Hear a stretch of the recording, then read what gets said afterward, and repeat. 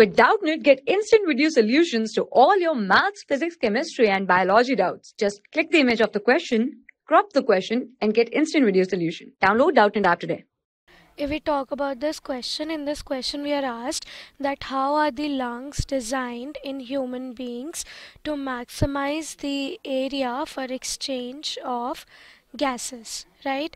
So basically we talk about the lungs right? So lungs is the organ in human beings uh, that take part in the process of breathing or we can say that it is the lungs in human beings that helps in breathing or human beings breathe through lungs. Now if we discuss about the structure of the lungs right that how they're actually designed. So as to maximize the area for exchange of gases or basically so as to maximize the area for breathing.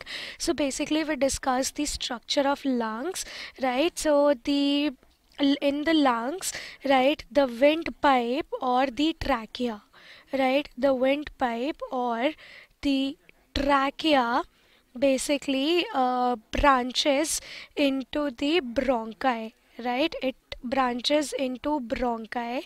Then the bronchi further divide itself into several tubes right? Several tubes and then and these tubes are known as bronchioles right? These tubes are known as bronchioles right? And then these bronchioles are further they divide further themselves into small pouch like air sacs right? Into pouch like air sacs that is basically known as alveoli right? That is known as the alveoli. So in the lungs alveoli is the region right? Alveoli is the region in lungs that is basically responsible or it is the part of the lungs that where the exchange of gases takes place.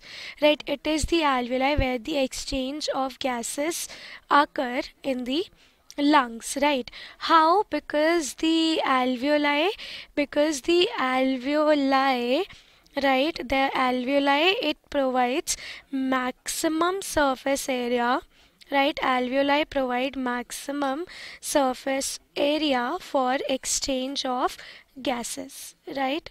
It provides maximum surface area for exchange of gases right? So basically here because the alveoli they increases the surface area in the lungs that creates more and more exchange of gases right? So the alveoli also right alveoli they have very thin walls right? The walls of the alveoli are very very thin right? And they all are surrounded by the network of blood vessels. They all are surrounded by the blood vessels right? And that actually helps in or that facilitates the exchange of gases right? That facilitates the exchange of gases right? So this is how the lungs are designed in a way that they contain the windpipe.